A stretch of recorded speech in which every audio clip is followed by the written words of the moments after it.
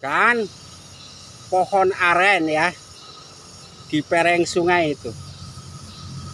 Ditumbuhi oleh kadaka. Banyak kadaka ya tuh.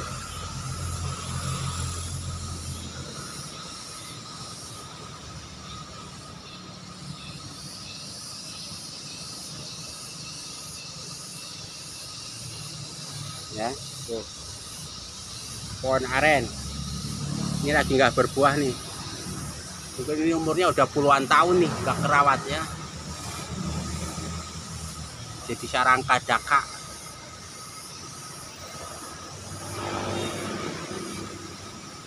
Kalau ini sama jenis pakis yang lainnya nih belum tahu nih.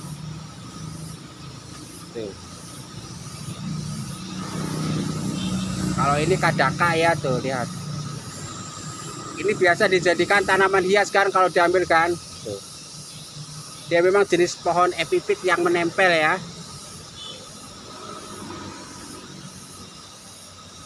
Harganya lumayan kalau sudah jadi tanaman hias yang bagus.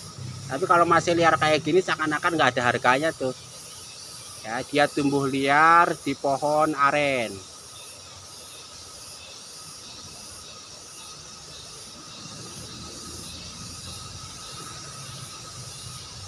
Nah, bagi para pecinta kadaka tentu kepengen menyaksikan tanaman hiasnya yang masih di alam liar. Nah, kita hadirkan ini.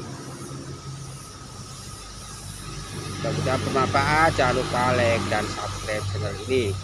Wassalamualaikum warahmatullahi wabarakatuh.